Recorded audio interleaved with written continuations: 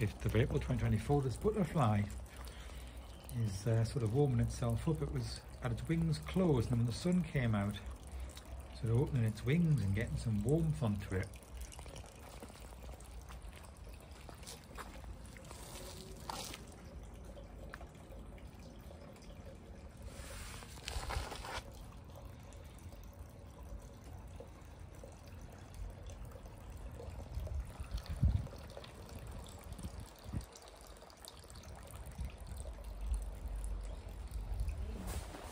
Chevy.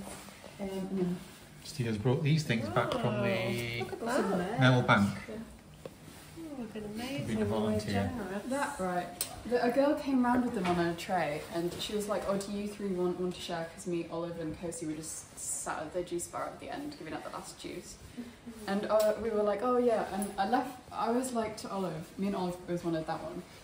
And we, but uh, loads of children randomly turned up, and I had to give some juice. And then I turned back round, and Kosi had chosen this one with holly with like licorice seeds in it, and I was like, "Oh." And so Oh, it you got vanished, but I got it. You got five. Yeah. Just had the tea in the conservatory because it's warm enough today.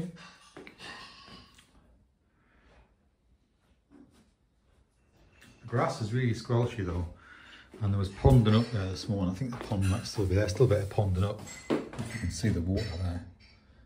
Still ponded up after all this time. About 15, another 15 millimetres overnight rain. Terrible.